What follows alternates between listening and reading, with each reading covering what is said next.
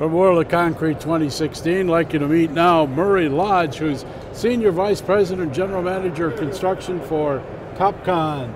Welcome Yes. aboard. Well, thank you so much. Nice to see you. Very nice to see you. the show for you and your company? Very exciting. Yeah, Really? we've had a good turnout. Well, you've got a couple of things to bring to the show floor this year. Give us an idea what you're talking about. We have a couple of really revolutionary products that we're introducing here at this show. Uh, one of them is what we call 3D-MCMAX. Okay. We've previously had 3D systems for dozers, All right. Yes. but yeah, with this. Right. this new technology, we allows us to maximize the speed, maximize the control, and maximize the overall performance on a dozer. Really? And that's all through your software process? Uh, software and hardware. Hardware what we've too. done is What we're is now the hardware part? the hardware part is actually implementing IMUs. Okay. And not just one. We've had single IMU technology. All right. But now we're implementing dual IMU technology. Ah. One on the blade, one on the body. Okay. So it does two things for us. One, it allows us to take the GPS, the antennas, and the mast off the blade. Okay. And the body will cover what was previously handled with the blade? Yeah. So before, when you had GPS, that gave you Sure. position information. Sure. But you had a mast out there that was in vulnerable area. Right. It could get damaged, you had cables that could break. Yeah. Now you take those antennas off and you put them on top of the cab. With the IMU, we're now controlling the elevation and the slope, but we're also, by using two of them, we're comparing the blade to the cab. Right. So it's much more robust no matter if the, uh, the dozer's going forward, backwards, or side to side. I could say you're probably losing a lot of the maintenance issues you had before with the cabling and all of the other Exactly. uh, associated hardware.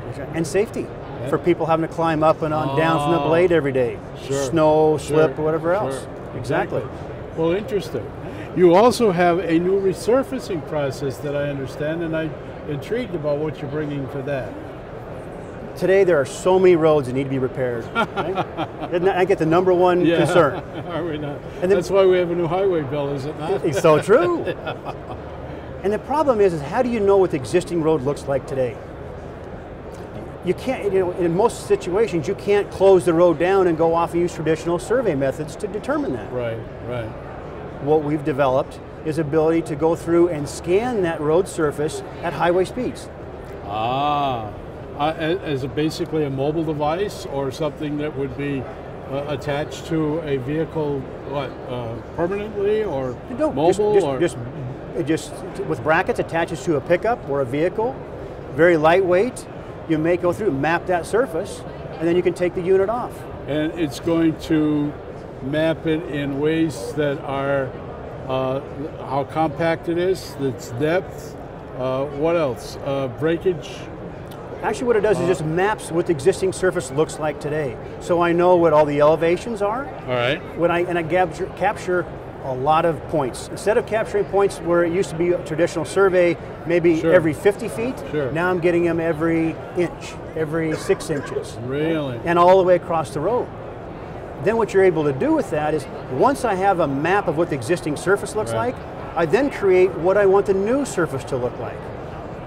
Smoothness, I'm looking for a smoother road. Okay. Sure.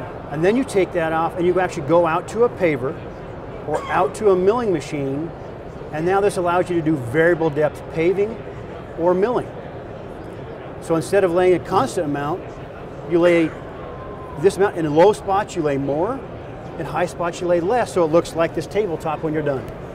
So it, this is this is done via software. You can take like a uh, a, a soft card as an example, uh, and, and slip it from one device into another, and it will capture all of those dimensions.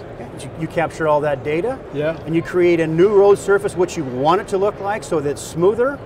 Just take that data and you put it into the machine. You know what? I'm thinking tax savings. Exactly away. right. I'm thinking tax saving. You can get a better finished because product. of having to do all of this mill and you only like you're saying you're covering the low spots the high spots and determining a relatively smooth surface Right. Or you have to put multiple multiple layers in Certainly. to try and get smoothness. Right. Now I can Right. go through and do that in a lot fewer passes. Right, absolutely. Yeah. Well, it's interesting. Interesting new products. Good time for you at Topcon to, to be working in this industry. Very with much. all of these new uh, technical devices coming up. I think every DOT is looking for a way to get more out of the oh, same amount of money. not? Are they not? Particularly, you know, with your new dozer control uh, app and, and this uh, processing thing. It's great. I thank you for stopping by. Murray Lodge, who's the Senior Vice President of Construction for Topcon, right here, World of Concrete 2016.